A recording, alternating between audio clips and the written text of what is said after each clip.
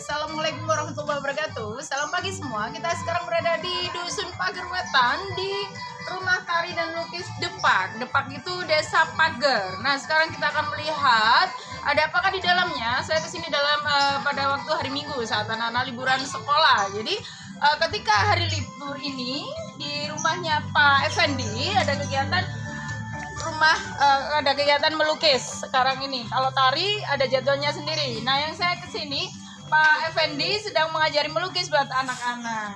Assalamualaikum Pak Effendi. Boleh tak wawancara sebentar ya? Iya. Eh, hari ini ada kegiatan apa Pak di rumah? untuk kegiatan anak-anak belajar menggambar. Gambar. Iya. Yang diajari anak-anak usia berapa? Usia Paut.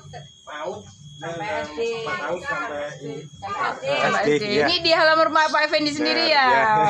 Ini eh, acara ini diselenggarakan tiap hari apa Pak? Tiap hari Minggu. Tiap hari Minggu. Iya. Gitu. Yang ngajarin Bapak sendiri?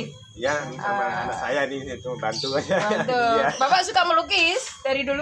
Allah ya. Oh, makanya ditularkan kepada anak. Iya, keren. Pak Effendi ada Iya. eh, kegiatan belajar melukis ke sini. Kalau mau ke sini, coba eh, hari Minggu ke sini pasti ketemu Pak Effendi ya. Iya. Insya Allah. Kalau udah- kalau anaknya ada semana gitu ya. Iya.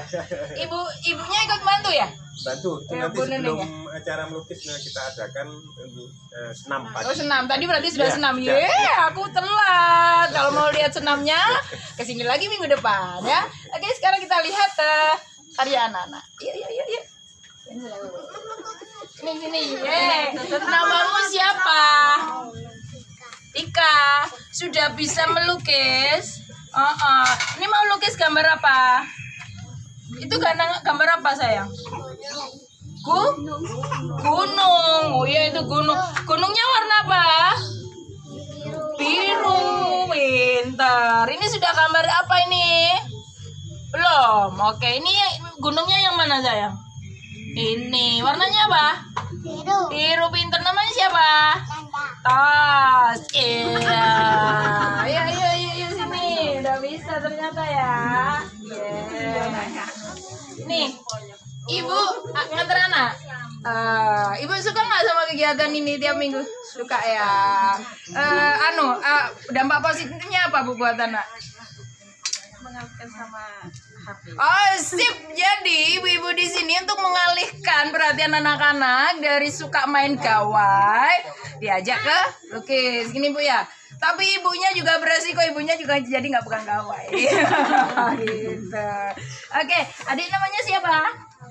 Aurel. Aurel lagi gambar apa? Gunung. Aurel kelas berapa? Boleh lihat gambarnya? Eh, ditunjukin sama Pak kamera. Eh. Ih, ini gambarnya. Yang ini warna apa? Hijau. Yang ini? Oren. Mataharinya oren ya.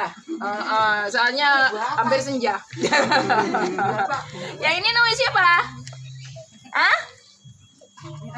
Adek? Kirana. Kirana. Biasanya panggil adek ya. Adek kelas berapa? Kelas kelas dua. Kelas dua bu. Kelas dua paut maksudnya. Iya. Suka kegiatan melukis di sini? Selalu ikut tiap minggu ya. Ah, rumahnya jauh. Di mana? Rumahnya di mana? Ke sini sama siapa? Nama nenek, wih, neneknya juga ikut ke sini, keren. Ini nek, neneknya di sana ya? Weh, di, boleh boleh diambil gambar neneknya. Eh, ada nenek cantik itu bukan nenek yang itu. neneknya ini sembunyi, oke keren ya. Ah, jadi anda-anda kalau kepingin meniru di kampung ini, kampung hijau yang kayak prestasi ini, silakan diadakan tiap hari Minggu karena rata-rata itu adalah kegiatan libur. Dan anda-anda kalau punya eh, keinginan atau inspirasi membuat anak-anak beralih dari gawai, kegiatan melukis ini bisa menjadi salah satu alternatif. Gitu Bu ya? Oke, tepuk tangan untuk Kampung Pagar. Ya, ketemu lagi nanti.